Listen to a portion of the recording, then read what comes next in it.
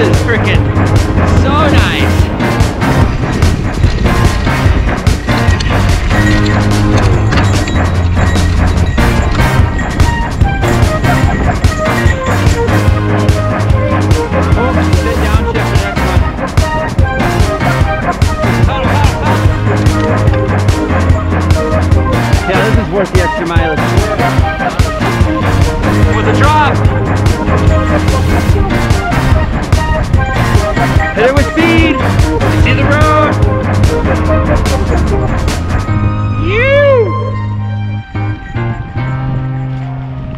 What is up, fam? We just finished up an epic mountain bike ride near Cortez, Colorado, and now we are gonna explore. Oh, look, influencers in the wild!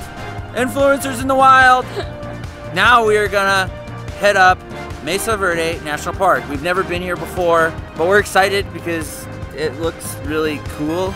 Yeah, the cliff dwellings look pretty awesome online, and I've been wanting to come here for a long, a long time, so we're gonna go check it out today.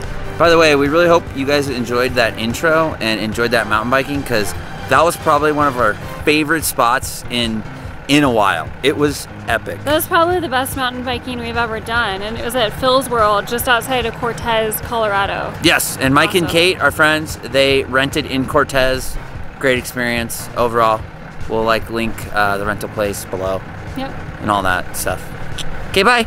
So we are going to do the Mesa Top Loop self-guided audio driving tour. So pro tip, they have Wi-Fi here. Make Yes. sure you download the. I guess it's a podcast, It's a podcast. audio tour. It says You can download it on um, whatever your podcast, like however you get podcasts. whatever podcast platform you like. Yeah, Okay. um, and it's actually hosted by a person who is a Laguna Pueblo themselves. Wow. So you'll get a really good perspective, Yeah. or that's what I've been told. So we'll see. Very authentic. Okay.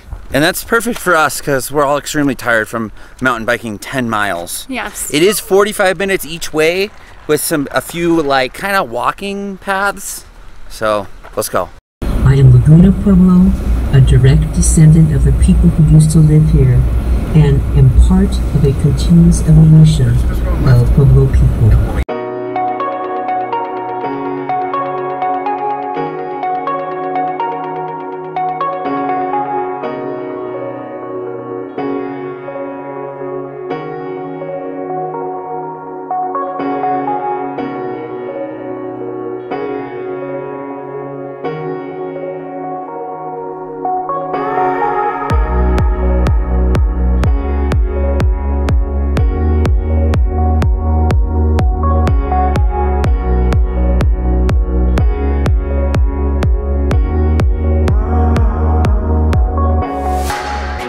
This is a pit house. This is where the ancient people would live. They, they dug into the ground to use the earth's natural Insulation. insulation to make a nice place to live. This is the closet. This is the house.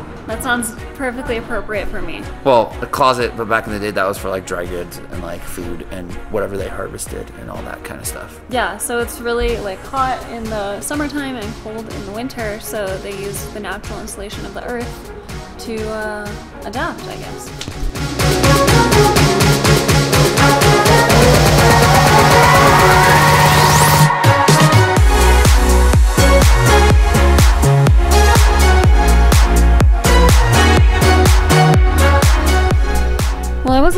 Planning to say anything, but now that you're filming me, I guess I will. Say it. It said that this, uh, sorry, Square Tower House has undergone stabilization treatments nearly every decade since the 1930s. And despite all that, actually 90% of what we see today is still original. That's pretty neat. Yeah. Pretty cool. So we've stopped at Square Tower House Overlook, and this is one that you can hike to on one of the guided tours if you sign up for that.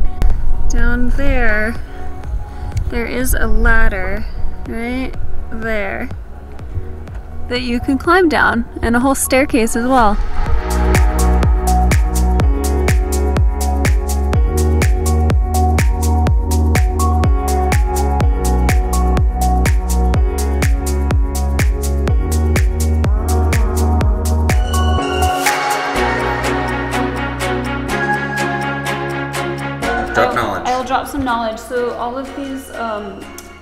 I guess, extrusions around the edge are pilasters, and then in the very middle, that was a fire pit, and then that is a ventilation shaft in the back for the smoke, presumably. Yeah, that's all I got.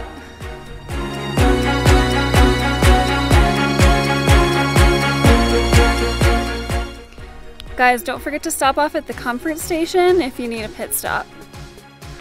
Hey babe, I really like your farmer's tan. Oh, thanks. Yeah, it's pretty legit. I forgot to put sunscreen on my arms.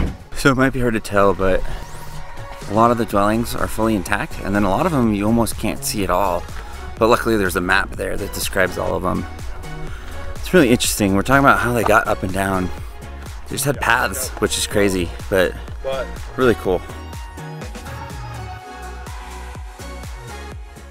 So, the Cliff Palace is the largest and like the most complete. Has over 150 rooms, and it was centrally located between kind of like the whole village. Obviously, it's like kind of a big deal because it's a palace. A lot of interesting facts here.